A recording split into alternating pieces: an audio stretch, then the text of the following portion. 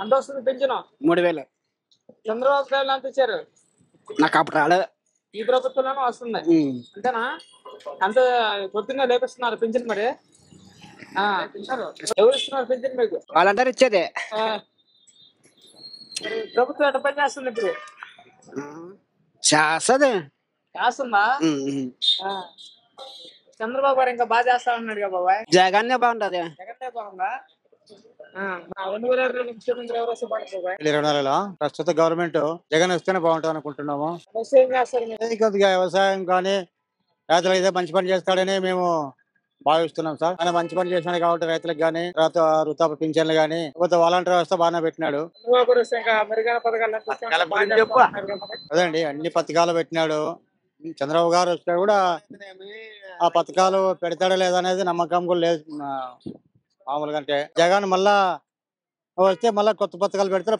ఆయన పెట్టిన పథకాలు కూడా అమ్మఒడి కావచ్చు రైతు భరోసా కానీ వాలంటీర్ వ్యవస్థ కానీ ఆ తర్వాత రకరకాల నవరత్నాలు అనేవి ఒక పథకాన్ని తెచ్చి బాగానే రాష్ట్రాన్ని బాగా అభివృద్ధి చేసినాడు.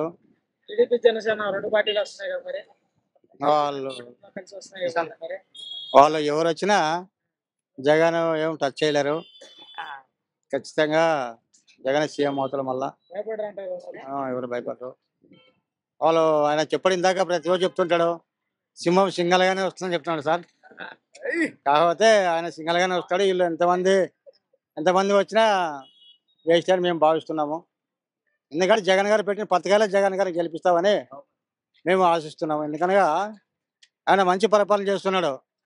రాష్ట్రంలో ప్రతి పేదోడికి కానీ ప్రతి పెత్తందారులకు కానీ ఏమో ఆధారం లేకోకున్నట్ల వాలంటీర్ వ్యవస్థ పెట్టి ప్రతి ఒక్కరికి ఆ వాళ్ళ యొక్క గవర్నమెంట్ పథకాలు అందే అందే మాదిరిగా చేస్తున్నాడు కాబట్టి రెండు వేల పద్నాలుగు బంపర్ మెజార్టీతో గెలుస్తాడని మేము వస్తున్నారు. కాంగ్రెస్ నుంచి ఎప్పట్లైనా పెడుతున్నారు? ఎమ్మెల్యే గారు అంత బోటగా ఉంటుంది అంతా. తెలంగాణ గారు వస్తే ఆమె కనీసం డిపాజిట్ రాండ్ల వెళ్ళిపోతుంది మూల తెలంగాణకి పోతుంది. వాళ్ళు ఏదో మాట్లాడుతున్నారు కాబట్టి జగన్ గారు ఏం టచ్ చేయలేరు. లోకేష్ గారు లోకేష్ గారి గురించి ఏం సార్? రాస్తున్నారండి మామూలుగా పార్టీ కాబట్టి వాళ్ళు కూడా ఏదో మా అధికారం రావాలని తన్నాడుతున్నారు కాకపోతే జనాలంటూ జగన్ గారికి కొద్దిగా మద్దతు ఇస్తున్నారు అని మేము అనుకుంటున్నాము. కొత్త పథకాలు కూడా పెట్టినాడు కాబట్టి చాలా ఇప్పటివరకు రాష్ట్రంలో అన్ని అన్ని కులాలుగా అన్ని వర్గాలుగా బాగానే ప్రశాంతులతో ఉన్నారని మేము ఆశిస్తున్నాము. ఎందుకనగా ఇప్పుడు మామూలుగా అంటే లోకేష్ గారు కానీ చంద్రబాబు నాయుడు కానీ పవన్ కళ్యాణ్ గారు కానీ ఆయన వాళ్ళు ఒక పథకాలు పెట్టి ఏదో ప్రవేశపెట్టినట్టు కూడా వచ్చారు. కాకపోతే వాళ్ళు చెప్పేదో చేసేది ఒకటి. ఈ రోజుల్లో చాలా జగన్ గారి ప్రభుత్వం బాగానే ఉంది అని మేము ఆశిస్తున్నాం సార్. ప్రభుత్వం అయితేనేమి అమ్మఒడి అయితేనేమి రైతు రుణమాఫీ అయితేనేమి రైతు భరోసా అయితేనేమి చాలా మంచి పథకాలు జగన్మోహన్ రెడ్డి మన ముఖ్యమంత్రి వర్లు చాలా మంచిగా చేస్తున్నారు. మళ్ళీ ఆయన రావాలని మేము ఆకాంక్షిస్తున్నాము. ఖచ్చితంగా నూట డెబ్బైకి నూట డెబ్బై ఐదు కంపల్సరీగా జగన్మోహన్ రెడ్డి సింహం సింగల్గా పోటీ చేసి గెలుస్తుందని మేము ఆకాంక్షిస్తున్నాం అందరూ గుంపులు గుంపులు పందుల్లాగా వచ్చిన సింహం సింగల్గా వచ్చి ఏపీని వెళ్తుందని మేము జగనన్న తరపున జగనన్న సైన్యంగా మేము మీకు చెప్తున్నాం ఆ వల్ల బోకస్ పథకాలు అమలు చేయలేని పథకాలు మాకున్న పథకాలు చాలు. ఆయన వస్తే ఉన్న వాళ్ళకే ఉంటది. బీద బిక్కకు ఉండదు కూలి నలభై వాళ్ళకి లబ్ధి చేకూర్చురు. ఎంతసేపు ఉన్నా బీద బిక్క మరసంగా పేద వర్గాలు బాగుపడాలంటే జగన్మోహన్ రెడ్డి సీఎం కావాలి. సమర్పతులు ఎలా అవుతారండి? ఉన్నోళ్ళు ఇంకా సోమరిపోతులు కదా. ఉన్నోళ్ళు లేని వాళ్ళకి తీసి పంచచ్చు కదా. ఉన్నోళ్ళు సోమరిపోతులు అయితే బీద వాళ్ళకి పంచచ్చు కదా మరి. ఎందుకు పంచట్లేదు? డబ్బులు ఉన్న వాళ్ళు సోమరిపోతులే కదా. ఇప్పుడు ఆ మాట ఎవరు వాడుతున్నాడో ఆ ఓట్స్ వాళ్ళు కానీ సోమరిపోతులే కదా. తప్పెలా అవుతుంది అలా బీద వాళ్ళకి లేని వాళ్ళకి పెట్టితే అది సోమరిపోతులు చేస్తారు అనేది అవివేకం. జగన్మోహన్ రెడ్డి గారు మంచి సంకల్పంతో మంచి పరిపాలన చేస్తున్నాడు. మంచిగా మంచిగా నిర్మిస్తున్నాడు. సోమరిపోతులు మరి వాళ్ళు తల్లి అదేమో పదహైదు వందలు జనసేన బీజేపీ టీడీపీ జనసేన దానికి ఇంకో పార్టీ యాడ్ చేసుకుని వచ్చినా కూడా జగన్ అని ఏం చేయలేరు. ఏ- ఏం చేయలేరు. కాంగ్రెస్ షర్మిల గారు అది చచ్చిపోయిన పార్టీ ఉన్నట్ల కాంగ్రెస్ మన రాష్ట్రంలో భూస్థాపితమైన పార్టీ ఉన్నట్ల. అంతా అవి ఇవి అన్ని ఇంటి దగ్గరికి వచ్చి ఏ, జగనన్న ప్రభుత్వం ఉంటే బాగుంటది. మరి టీడీ ప్రభుత్వం అంటే ఎవరో దోచుకునే వాళ్ళు దోచుకుంటారు కానీ జగనన్న ప్రభుత్వం మొత్తం పేదలకు అందరికీ ఆస్కారం ఉండదు సార్. చంద్రబాబు టైంలో పింఛన్ అంత ఇచ్చారు మీకు బాబాయ్? చంద్రబాబు అందిస్తాడు కానీ ఆయనకి నాలుగైదు రోజులు వారం పది రోజులు కాసుకొని కూర్చున్నాళ్ళ. వీళ్ళు ఏం లేదు ఒకటో తారీఖే ఖచ్చితంగా ఇంటికి వచ్చి ఇస్తుంటారు. పొద్దున్న ఇచ్చేస్తుంటారు.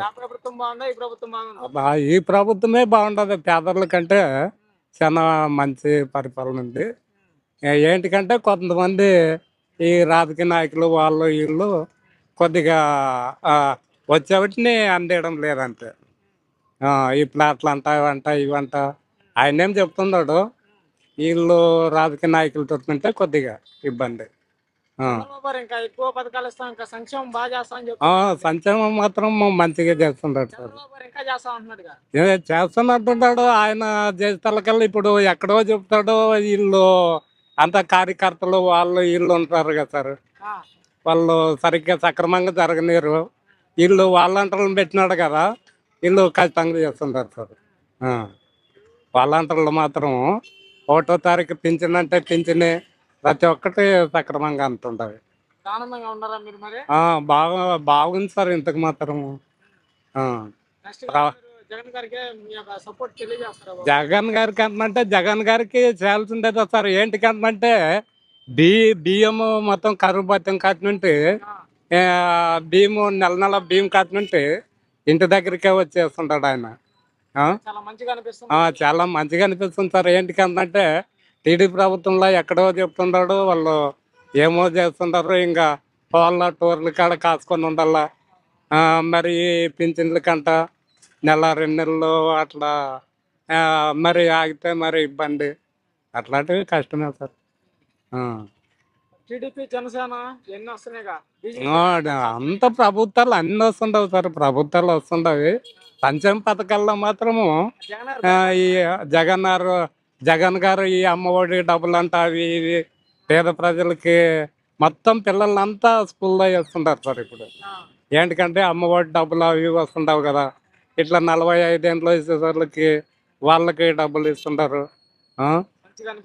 మంచిగా అనిపిస్తుంది సార్. ప్రభుత్వం అయితే ఇప్పుడు ఈ వృద్ధాపులంట వాళ్ళంట వీళ్ళంట పింఛన్కి కాసుకొని ఉండే అవసరం ఉండదు. ఒకటో తారీఖు ఖచ్చితంగా వాళ్ళంటారు త- తలుపు తట్టి పింఛన్లు ఇస్తుంటారు ఇది మంచిగా అనిపిస్తుంది షర్మిల గారు వస్తున్నారు కాంగ్రెస్ నుంచి. ప్రభుత్వం మన రాష్ట్రంలో అంత డెవలప్ లేదు కదా సార్.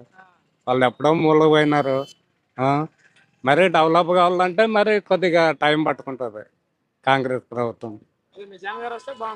జగన్ ప్రభుత్వం అయితే బాగుంటుంది సార్. ఏంటికంటే పేదలకి సంక్షేమ పథకాలు మాత్రం మంచిగా అందిస్తున్నాడు. అన్నీ అందుతుండవు కానీ ఈ రాజకీయ నాయకులకే కొద్దిగా వాళ్ళతో ఉంటే కొద్దిగా ఇబ్బంది